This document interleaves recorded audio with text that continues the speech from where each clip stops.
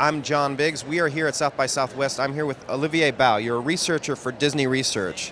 And yesterday you did a panel on wearable computing, uh, essentially how electronics can give you superpowers. Is that right?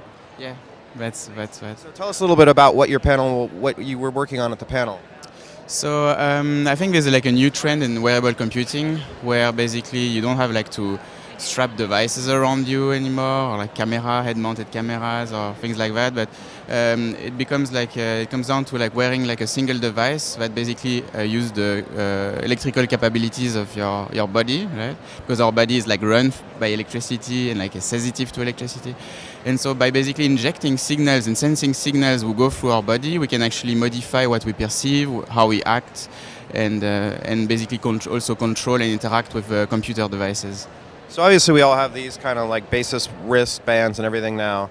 But how is this different from that, and what can you change about your senses or change about your body with this technology? So yeah, I have an example. So I mean, it's still something that you will that will be in contact with you, like you know, like uh, I don't know, like something in your show, yeah, something you wear. But uh, basically, like, for example, one example we worked at Disney Research in Pittsburgh is called Revel. It's like a, a, tactile technology, uh, and how it basically works is that it injects a signal into your body, and uh, it generates an electrostatic field around your skin, and a little bit like a, a rubber balloon that's attracted to your hair, right? We, we generate the same force between your finger and the environment. And by modulating this effect, we can actually uh, give the impression of virtual tactile textures everywhere. So we can basically control what you perceive and how you perceive it in the environment. So I remember I, I actually used a system, uh, I guess it was, I think it was in Asia, where they had set up a metal plate and you would rub your finger along it and you could feel like the edges of the, of the plate and you could feel different, different, uh, different I guess, uh, textures on the plate, but they weren't really there. It was all electronics. So is this is this a higher resolution? What's the what's the distinct difference about this versus the previous versions of this? Uh, so I'm not sure about uh, the technology actually you tried out. I believe it was electrostatic. It was electrostatic. So I think that uh, it's basically like some some sort of reverse effect, meaning that uh, usually people, uh, and in, in the case this demo, instrument the environment, meaning this plate was attached to an electrostatic device, and now basically we instrument the body, which means that the environment becomes uh, programmable. So it's like kind of uh, uh, you know a shift in paradigm. Basically. So we're not you're not actually have to change the surface. You don't have to charge the surface. Your body is char is changed. All right, that's very cool. Now, at what point are we going to be able to just like reach our hand out and feel something invisible in front of us? Is that possible? Um, I mean, uh, with the, the, exact technology I'm talking about, it is it's not possible. You need like it's about texture, so you need to be in contact with the environment. But um, there's some technology out there and some work who actually try to use the same principle, like basically something that you wear and you know like uh, uh, inject signal into your body to control muscles, for example, or, or, things like that. So you can imagine, you know, if you can control your muscles and uh, the contraction of your muscles, uh, you can basically uh, you might be able to simulate things that are you know virtual and floating and you know.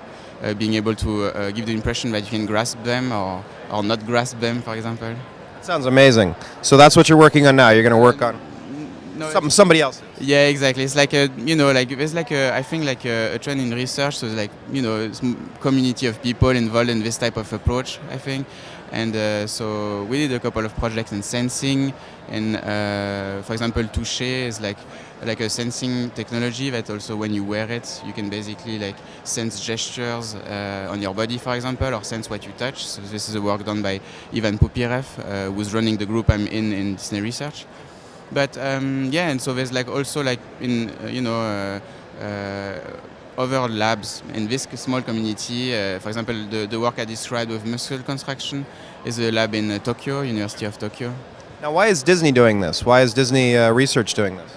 So I mean, Disney Research is, is a research lab, right? So uh, it has like a. So not, they're not going to recreate Disney World in, in invisible space. No, so it's it's like a uh, it's like a research lab, meaning that we have like a, a um, big foot in the academic world. So we you know we do like fundamental research. Some part of research there's like researcher in various different fields who publish papers and things like that. Some some aspect of research might be applied, but uh, it's not. So you get a lot of you get a lot of cash from the mouse, but it's not it's not officially a Disney kind of thing. You don't have to wear ears or anything. Uh, well, what can I say? Only sometimes. All right, Olivier Bau, thank you very much for spending a little time with us. Olivier Bau, olivierbau.com. Is that right? Yes. All right. Thanks a lot for watching.